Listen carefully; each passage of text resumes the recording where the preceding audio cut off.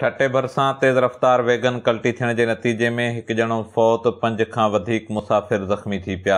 मकली जे शोरा मोरी वटि टायर बस्त थियणु सबबु तेज़ रफ़्तार वेगन ड्राइवर जे कंट्रोल खां निकिरी कल्टी थी किरी पई जंहिंजे नतीजे में हिकु मुसाफ़िर थरे ते फौत थी वियो जिन त पंज खां वधीक माण्हू ज़ख़्मी थी पिया इतला ते पुलिस ऐं इलाइक़े वासियुनि हादसे वारे हंधु पहुची फौती मुसाफ़िर जो लाश ऐं ज़ख़्मीनि खे सिविल अस्पताल ठटे मुंतक़िल कयो जिते फोती मुसाफ़िर जी सुञाणप इमरान अली तौर कई वई जरत हादसे में ख़मीसो ख़ालिद समेत पंज खां वधीक मुसाफ़िर ज़ख़्मी थी पिया फोती मुसाफ़िर जो लाश ज़रूरी कार्रवाई खां पोइ वारसनि हवाले कयो वियो संदसि मड़ह घर पहुचण ते वारसनि में कोहराम अची वियो इनताई अफ़सोसनाक ख़बर खां तव्हांखे आगाह कंदा हलूं ठटे भर तेज़ रफ़्तार वेगन कल्टी थियण जे नतीजे में हिकु ॼणो फौत जनत पंज खां वधीक मुसाफ़िर ज़ख़्मी थी पिया मकरी जे शोरा स्टॉप वटि टायर बस्त थियणु सबब ते रफ़्तार वेगन ड्राइवर जे कंट्रोल खां निकिरी कल्टी थी किरी पई हादसे जे नतीजे में वेन में सवार हिकु मुसाफ़िर थॾे ते फोत थी वियो जॾहिं त पंज खां वधीक माण्हू ज़ख़्मी थी पिया इतला ते पुलिस ऐं इलाइक़े वासियुनि हादसे वारे हंधु पहुची फोती जो लाश ऐं ज़ख़्मीनि खे